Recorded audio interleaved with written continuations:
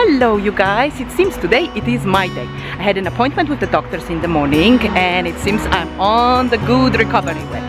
I have to take baby steps, rest a lot and stuff like this, but we are good, we are getting better. So uh, I'm happy, it's good news.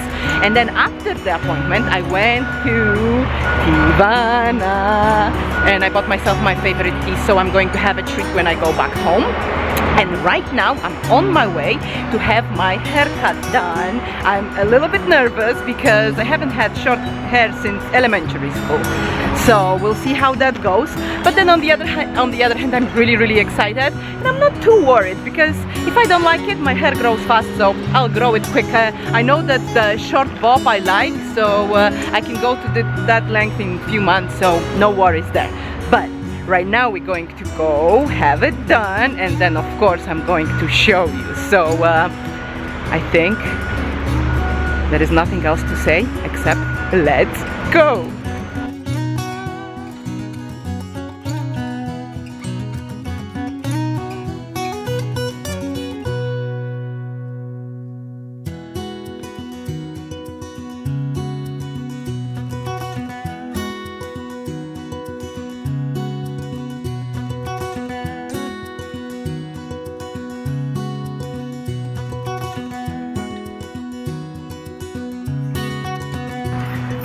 so this is it.